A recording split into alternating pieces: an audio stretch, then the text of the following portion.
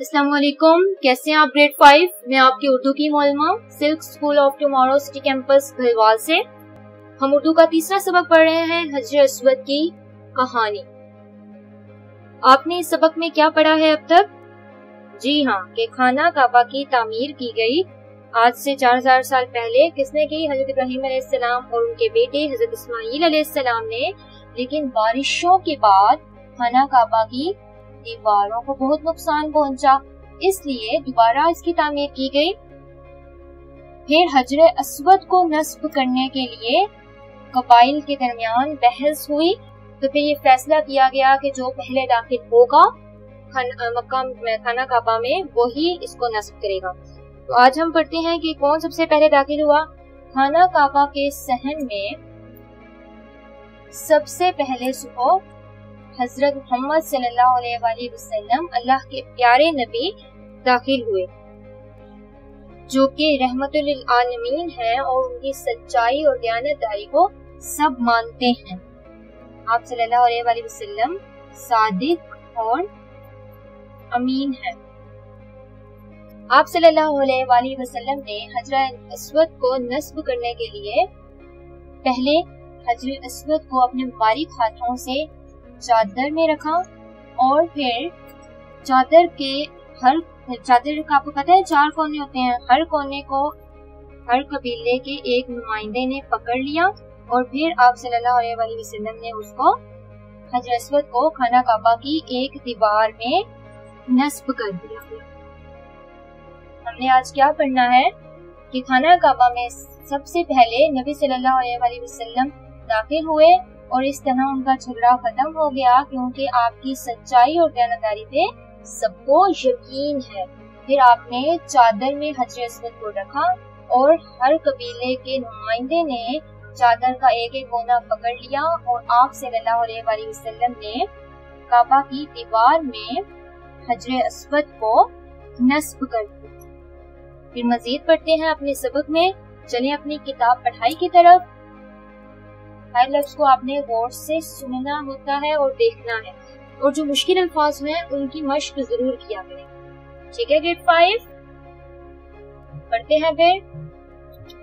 अगले रोज खाना काबा के सहन में सबसे पहले हमारे प्यारे नबी हज़रत मोहम्मद सल्लल्लाहु अलैहि वसल्लम पहुँचे। तब आप सल्लल्लाहु अलैहि वसल्लम की उम्र मुबारक सिर्फ़ 25 बरस थी। और आप ने अभी नबुव्वत का ऐलान नहीं किया था। लेकिन उसके बावजूद मक्का के लोग आप वसल्लम की सच्चाई और ईमानदारी के कायल थे और वो आप, वो सब आप वसल्लम को सादिक और अमीन, यानी सच्चा और अमानतदार कहकर पुकारते थे। कितने वर्ष थी आप सल्लल्लाहु अलैहि वसल्लम की उम्र तब 25 वर्ष। खाना काबा के सहन में आप सल्लल्लाहु अलैहि वसल्लम की सुबह सवेरे आमद से लड़ाई झगड़े का खतरा टल गया था। लोगों को यकीन था कि अब ये मामला नहायत खुश उसलूबी से हल हो जाएगा। आप सल्लल्लाहु अलैहि वसल्लम ने एक चादर मंगवाई, हज़रत असवद को अपने दस्ते मुबारक से उठाया और चादर पर रख दिया। आप सल्लल्लाहु अलैहि वसल्लम ने हर कबीले का एक एक नुमाइंदा लिया और तमाम नुमाइंदों से फरमाया कि वो चारों कोने थाम कर चादर को ऊपर उठाएँ। जब चादर उस मुकाम तक पहुँच गई, जहाँ हज़रत असवद को नस्ब किया जाना था, तब आप सल्लल्लाहु अलैहि वसल्लम ने हजर असवद को अपने दस्ते मुबारक में लिया और काबा की दीवार में लगा दिया फिर हमने आज क्या पढ़ा है कि खाना काबा की दीवार में किसने नस्ब किया हज़रत को जी हाँ अल्लाह ताला के प्यारे नबी हज़रत मोहम्मद सल्लल्लाहु अलैहि वसल्लम ने। आपने पिछले लेक्चर में पढ़ा है कि जुमला कैसे बनता है? जुमले में क्या है? जुमले में क्या क्या आता है? फ़ाइल और फेल शाबाश। फ़ाइल क्या है? जो काम करता है, यानी काम करने वाला। और फेल काम।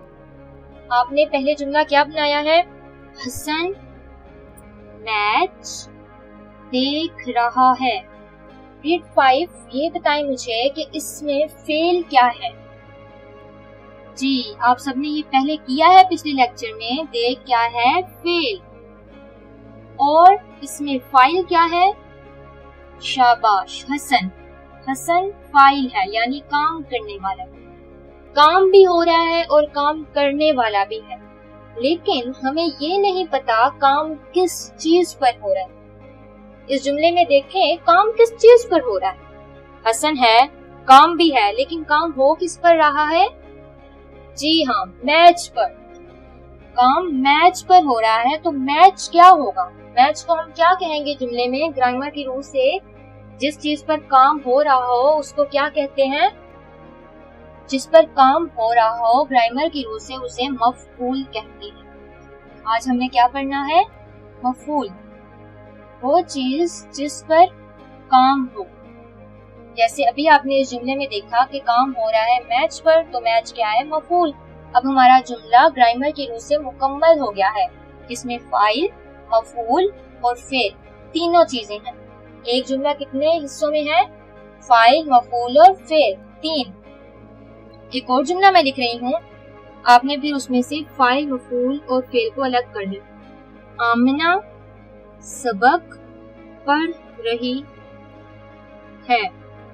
इस जुमले में मफूल क्या है? इस जुमले में काम किस चीज़ पर हो रहा है? आमना पर नहीं, आमना तो काम कर रही है। तो फिर काम किस पर हो रहा है? जी हाँ सबक पर। सबक क्या है? मफूल। और काम क्या कर रही है आमना? पढ़ रही है। पढ़ क्या है? फेल। और आमना? शाबाश। आमना काम कर रही है, आमना फ़ाइल है। फ़ाइल, मफूल और फेल।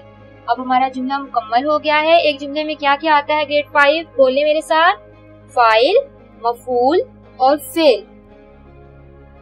एक और आपके पास जुमला है। दादा ने पानी पिया। इसमें से आपने तलाश करना है फ़ाइल। फ़ाइल क्या है? पानी? नहीं, फ़ाइल है दादा। और इसमें फेल क्या है? पिया। पीना, खाना, पीना, उठना, बैठना, सोना, ये सब क्या है? फेल। और काम किस पर हो रहा है? पानी पर। तो पानी को हम क्या करेंगे ग्रेड फाइव। मफूल आपने पिछले लेक्चर में फेल भी पढ़ा है और फ़ाइल फ़ाइल और फेल दोनों के जुमले आपने बनाए होंगे। उसमें, उन्हीं जुमलों में से अब आपने मफूल के गिर्द दायरा लगाना है। मफूल क्या है? जिस पर काम हो। और फ़ाइल काम करने वाला फेल क्या इसको कहते हैं? काम को। आपने इसको याद करना है कि जुमला बनाने का, ये जुमला बनाने का तरीका है कि जुमला कैसे बनता है। इसकी बहुत ज़्यादा प्रैक्टिस करनी है ताकि आपको ये भूले नहीं। ठीक है? अब आप अपनी नोटबुक खोलें और नोटबुक पे सबसे पहले आज का दिन और आज की तारीख लिखें। घर का काम। उनवान है आपका। सवाल जवाब। आज का आपका सवाल है, खाना काबा के सहन में सुबह सवेरे कौन पहुँचा? पहले सवाल लिखें। खाना काबा के सहन में सुबह सवेरे कौन पहुँचा जी ग्रेड फाइव इसका जवाब हम क्या लिखेंगे? सुबह सवेरे कौन पहुँचा हज़रत मोहम्मद सल्लल्लाहु अलैहि वसल्लम, हम जवाब लिखेंगे, खाना काबा के सहन में सुबह सवेरे हज़रत मोहम्मद सल्लल्लाहु अलैहि वसल्लम पहुँचे।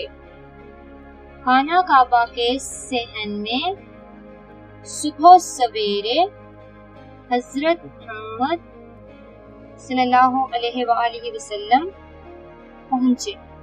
आपने आज ये एक सवाल किया है, आपने इसको लिख के और फिर याद करना है। अगला सफ़ा खोलें। उस पे आज का दिन और आज की तारीख लिखें। घर का काम। उनवान आप लिखेंगे अल्फाज जुमले। उनवान के बाद फिर लिखे अल्फाज जुमले।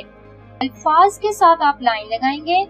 आपको पता है ना जुमले हम कैसे बनाते हैं कि जो लफ्ज आपके पास दिया हो आपने उसको जुमले में ज़रूर इस्तेमाल करना है। आज का आपका पहला लफ्ज है चादर। चादर का हम क्या जुमला बनाएँगे? फाइव चादर का हम जुमला बनाते हैं। आप सल्लल्लाहु अलैहि वसल्लम ने पहले सुन ले कि आप सल्लल्लाहु अलैहि वसल्लम ने हजर असवद को उठाया और चादर पर रखा।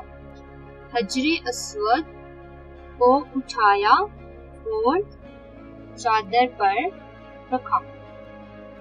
ये हमारा पहला जुमला है, अब हमने दूसरा जुमला बनाना है। दूसरे जुमले का पहला, दूसरे जुमले का क्या है? सहन। सहन का जुमला हम क्या बनाएँगे? फाइव। सहन का हम जुमला बनाते हैं, बादशाही मस्जिद का सहन बहुत कुशादा है। देखिए मेरे साथ जुमला। बादशाही मस्जिद का सहन बहुत कुशादा है। आपने आज दो अल्फाज के जुमले बनाए, एक चादर और एक सहन। आपने इनको लिखना है और फिर अच्छे से याद करना है। आज आपने जुमला बनाने का तरीका किया, जिसमें आपने पढ़ा है फ़ाइल मफूल और फेल इनके आपने और भी इसके अलावा जुमले बनाने हैं और उनमें से फ़ाइल मफूल फेल को अलग अलग करना है। उसके अलावा जो आपने पढ़ा है, इसको याद रखना है। बाकी हम इंशाल्लाह अपने अगले लेक्चर में करेंगे। अपना बहुत ख्याल रखिएगा। अल्लाह हाफिज।